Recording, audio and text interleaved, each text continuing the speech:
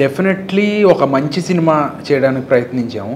ఎట్లా అయితే పలాస చేసాము మా ప్రొడక్షన్ హౌస్ నుంచి జనాలు చాలా బాగా ఆదరించారు నన్ను కానీ సినిమాని కానీ సో అంతకన్నా బెటర్ సినిమా ఇవ్వడానికే ప్రయత్నించాం సుధాస్ మీడియా ద్వారా. సో ఇది ఒక రెగ్యులర్ సైకో థ్రిల్లర్ సినిమా కాదు.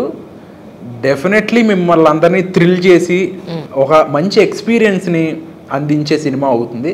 సో జూలై ఇరవై ఆరున అందరూ మీ ఫ్యామిలీస్తో వెళ్ళి సినిమా చూడాలని కోరుకుంటున్నాను సూపర్. నేను మీతోనే ఇంకొంచెం పని ఉంది సార్. సార్ అంటే ఇప్పుడు మీ ప్రొడక్షన్లో ఎస్పెషల్లీ లేదంటే మీ డైరెక్షన్లో బోత్ ద వేస్ రెండు రకాలుగాను చెప్పండి. రక్షిత్ గారు కాకుండా ఇంక వేరే కథలు ఏదైనా వచ్చినా వేరే హీరోతో వచ్చినా మీరు ప్రొడ్యూస్ చేసే ఉద్దేశంలో ఉన్నారా? డైరెక్షన్ కానీ ఇప్- ఇది రేపు హిట్ అయిన తర్వాత మీరే డైరెక్టర్ అయిపోవచ్చేమో చెప్పలేం కదా అందుకని. హిట్ అయిపోతే నేనే డైరెక్టర్ అవ్వచ్చుగా అనే దాంట్లోనే చాలా ఆన్సర్ ఉంది. కాబట్టి అలా గ్యారంటీగా సినిమా నచ్చుతుందనే అనుకుంటున్నాను అది. ఇంకా దీన్ని కంటిన్యూ చేస్తానా లేదా అనేది పెద్ద అంటే నాకు ఇంట్రెస్టే అయితే నాకు ఎంత టైం ఉంది ఆ టైం దీన్ని స్పెండ్ చేయడం కరెక్టా కాదా. అనేది చూసుకుని చేస్తాను కానీ ఇదేదో రెగ్యులర్ ప్రొఫెషన్ లాగా నేను చేయలేను చేయను. This is my main profession అన్నట్టుగా చేయరు. చేయను. ప్యాషన్ కొద్దీ చేయడమే. So in case production point of వ్యూలో యాజ్ అ ప్రొడ్యూసర్గా అంటే? అది రక్షిత్ కెరీర్ ఎట్లాగూ కావాల్సినట్లుగా రెగ్యులర్గా సినిమా తీద్దాం అనుకుంటున్నాను. ఇంకా రెగ్యు రెగ్యులర్గా ఈ మీడియాలో వస్తున్న చేంజెస్ ఇవన్నీ అర్థం చేసుకుని ఇంకా కొత్తగా ఎలా చేయాలి ఏం చేయాలి ఇదంతా స్టడీ చేయాల్సింది ఉంది. డెఫినెట్గా స్టడీ చేసి కొత్తగా ఏం చేయాలి సినిమాలు తీయాలా లేకపోతే వెబ్ సిరీస్లు తీయాలా ఇది కూడా ఒక మెయిన్ హ్యూమన్ నేచర్లో కావాల్సిన మెయిన్ ఎంటర్టైన్మెంట్. ఫుడ్ తర్వాత క్లాత్ తర్వాత ఎంటర్టైన్మెంటే కదా. అలాంటిది వాళ్ళ ఫస్ట్ ప్లేస్కి ఎంటర్టైన్మెంట్ వెళ్ళిపోయిందేమో అనిపిస్తుంది. ఫుడ్ కూడా సెకండరీకి వెళ్ళిపోయింది. సో డెఫినెట్గా ఎంటర్టైన్మెంట్ ఇండస్ట్రీలో ఉండటం మంచిదేనే అనుకుంటున్నాను నేను. కాకపోతే మిగతా ఇండస్ట్రీలో కన్నా ఇక్కడ వేరు వేరే రకాల ఏమంటాం మనం వాటిని? ప్రలోభాలకి లోనయ్యే అవకాశం ఉండే ఇండస్ట్రీ కాబట్టి ఎక్కువ మంది సజెస్ట్ చేస్తారు వద్దు వద్దు.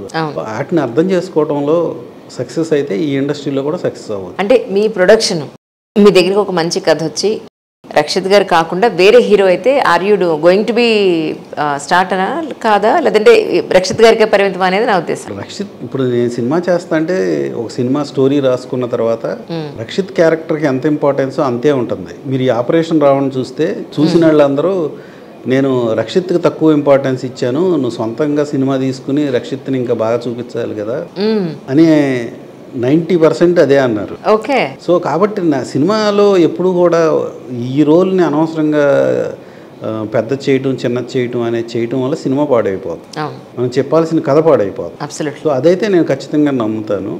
ఈ సినిమా చూస్తే మీరు సినిమాగానే ఉంటుంది కానీ రక్షిత్ మా అబ్బాయి లేదా ప్రొడక్షన్ హౌస్ రక్షిత్ కాబట్టి రక్షిత్ని బాగా చూపిద్దాం. అలా ఉండదు అసలు.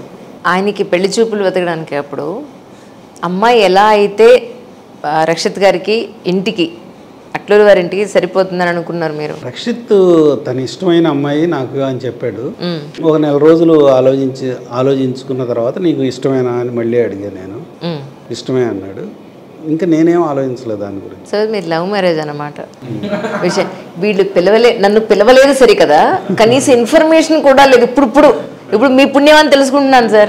మరీ అన్యాయం అండి మీరైతేను. అయితే నెక్స్ట్ టైం మీరు వచ్చినప్పుడు మీకు కపుల్ ఇంటర్వ్యూ తీసుకుందాం. అరేంజ్ మ్యారేజ్ అంటే పెద్దగా మేము అడిగేవాళ్ళం కాదు. సరే. అంటే లవ్ లవ్ తర్వాత అరేంజ్ అండి.